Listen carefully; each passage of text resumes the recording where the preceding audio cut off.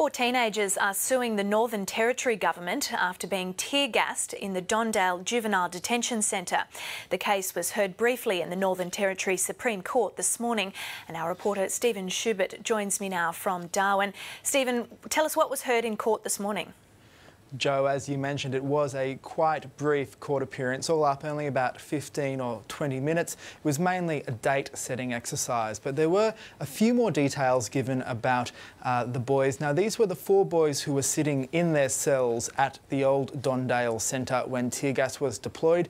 Indeed, there is CCTV footage of two of them sitting there playing cards as the tear gas is deployed.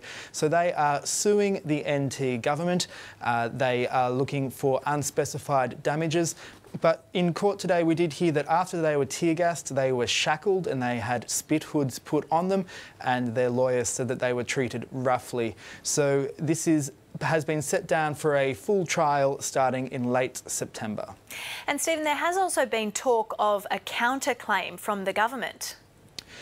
That's right. This was dropped last week on the direction of Chief Minister Adam Giles. Now, in court today, it was mentioned that this has not been formally dropped legally, but the lawyer for the NT government did indicate that the uh, the territory government was no longer seeking damages from two of the people suing them. They were looking for about $200,000 in damages uh, from a number of breakout attempts that happened after the tear gassing incident, but since the ABC reported that story, that counterclaim has been dropped. And Steven, were the teenagers in court today?